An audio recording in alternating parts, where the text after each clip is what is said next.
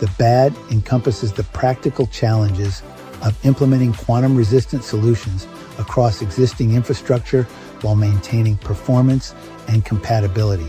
Post quantum algorithms typically require, well, significantly larger key sizes and computational overheads than current standards.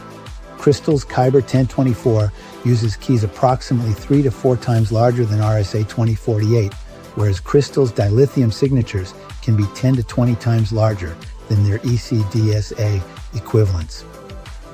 Legacy system integration presents formidable obstacles because, honestly, many embedded devices and industrial control systems just cannot accommodate the increased memory and processing requirements of post-quantum cryptography. The standardization process itself introduces risks as demonstrated by the withdrawal of supersingular isogeny key encapsulation or SIKE from NIST considerations after researchers discovered efficient classical attacks, highlighting how even rigorously evaluated algorithms can harbor unexpected vulnerabilities.